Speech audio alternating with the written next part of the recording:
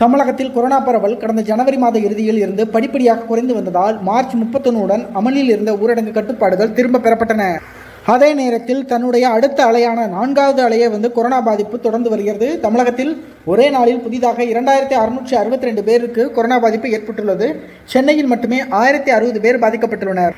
இந்நிலையில் சனி ஞாயிறு ஊரடங்கு முழு ஊரடங்கு இரவு நேர ஊரடங்கு ஏதாவது ஒரு கட்டுப்பாடு விதிக்கப்படும் என்று எதிர்பார்த்திருந்த நிலையில் தமிழகத்தில் கொரோனா பரவல் தொடர்ந்து அதிகரித்து வரும் நிலையில் கொரோனா பாதித்தோரில் நாற்பது சதவீதம் மருத்துவமனைகளில் அனுமதிக்கப்பட்டிருந்தால் மட்டுமே ஊரடங்கு கட்டுப்பாடுகள் விதிக்கப்படும் அப்படின்னு தமிழக சுகாதாரத்துறை அமைச்சர் மா. சுப்பிரமணியன் வந்து ஒரு மகிழ்ச்சியான தகவலை தெரிவிச்சிருக்கிறாரு. தற்போது கொரோனா பாதிப்பு என்னதான் வந்து அதிகமாக பரவுனாலும் அதனால பெரிய பாதிப்பு இல்லை. ஒரு சளி காய்ச்சல் இந்த மாதிரி தான் மெயின்டைன் ஆகிட்டு இருக்கு ஸோ அதனால கட்டுப்பாடுகள் விதிக்கப்படலை. எனவே தமிழகத்தில் இன்றைக்கி வந்து ஜூலை ஆறாம் தேதி. ஸோ கன்னியாகுமரி மாவட்டத்தில் இன்று உள்ளூர் விடுமுறை அளிக்கப்படுகிறது. அதனால் பள்ளி கல்லூரிகளுக்கு விடுமுறை. இந்நிலையில் திருநெல்வேலி மாவட்டத்தில் உள்ள காந்தியம்மன் அதாவது நெல்லையப்பர் காந்திமதி அம்மன் கோயில் தேரோட்ட விழா நடைபெற உள்ளது இந்த நெல்லையப்பர் கோயில் புகழ்பெற்ற தலங்களில் ஒன்றாகும்.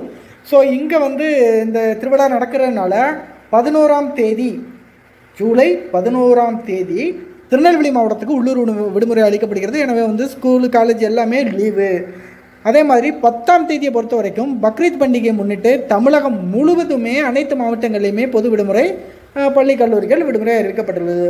ஸோ தொடர்ந்து பல மாவட்டங்களில் வந்து விடுமுறை அளிக்கப்படுவது குறிப்பிடத்தக்கது. மேலும் பல அப்டேட்களை தெரிஞ்சுக்கிறதுக்கு நம்ம சேனலை சப்ஸ்கிரைப் பண்ணிக்கோங்க.